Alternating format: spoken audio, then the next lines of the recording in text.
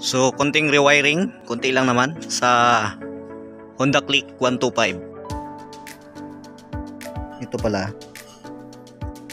Kahit hiramin natin yung cellphone niya. So, nandyan pa rin yung security. Yan. Mapapandar natin. Dahil nasa atin yung cellphone niya. Walang susi.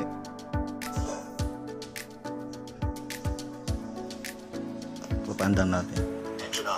Okay.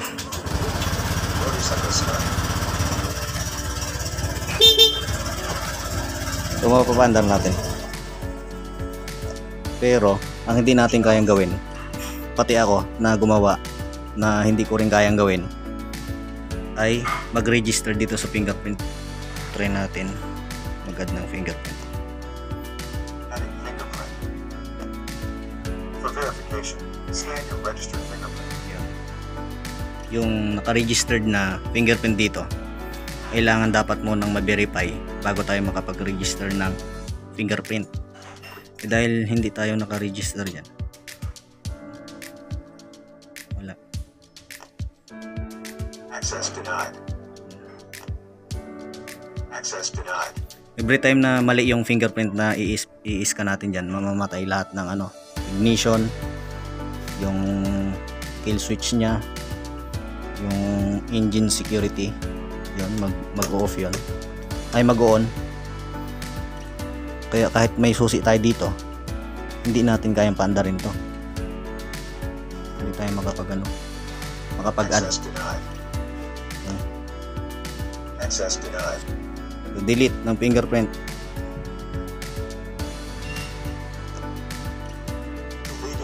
Yan, hindi rin natin kaya yan. For verification, scan your registered fingerprint. Access denied. Wala. Hindi natin kaya. Access denied. At kung hawak natin tong cellphone, kaya natin paanda rin. Dahil hawak natin yung cellphone niya. Ayan.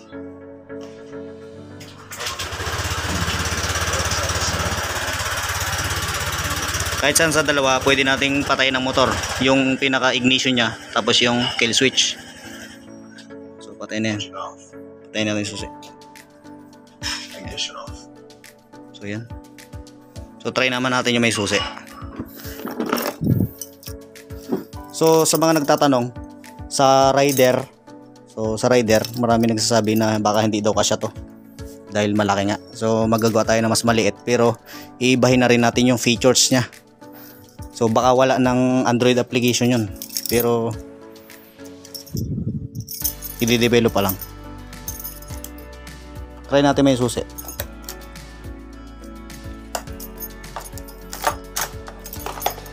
Pinoon na. Ayan o. So dapat under na yan, di ba? Wala tayong hindi natin mapa-under. So ano ang nangyari? Kasi naka-on yung security. Makikita nyo sa Android application, naka-on tong security. Pag in-off natin yan, pang pahiram na yan. Pwede na nating ipahiram ang motor.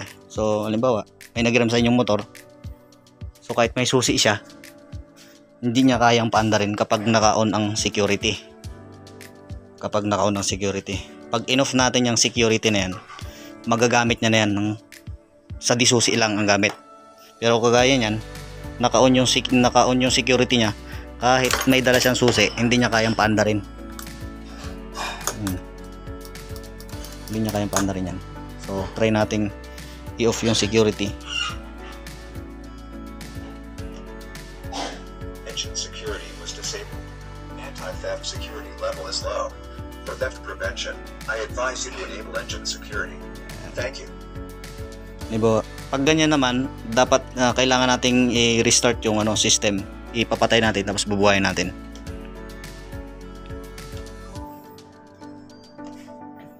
Welcome, Master 124. Okay, mapapandar natin to.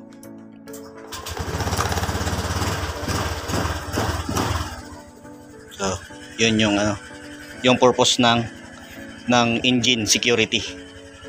Pwedeng pangpahiram at pwedeng pang hindi. So ituturo ko rin sa susunod yung kung paano ikabit to sa sa motor. Kasi itong device natin ay meron lang siyang limang relay sa ignition, sa starter, sa engine security, sa kill switch, sa ilaw at saka sa busina. Yun lang yung relay.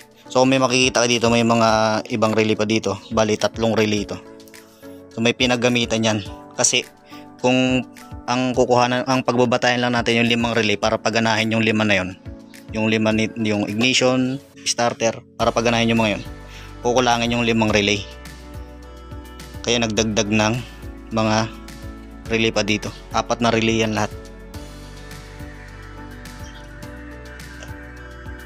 Engine on.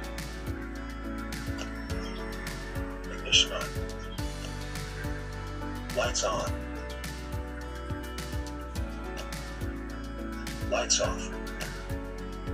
Lights on. Lights off.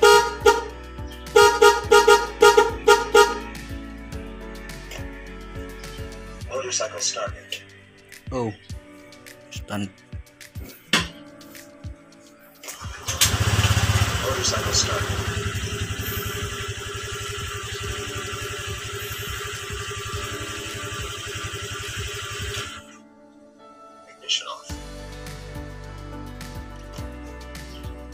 Ignition on. Motorcycle started.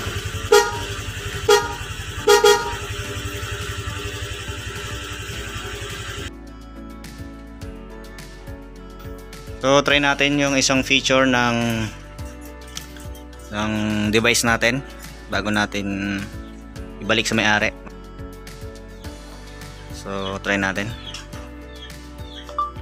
Let's go. Oh yeah.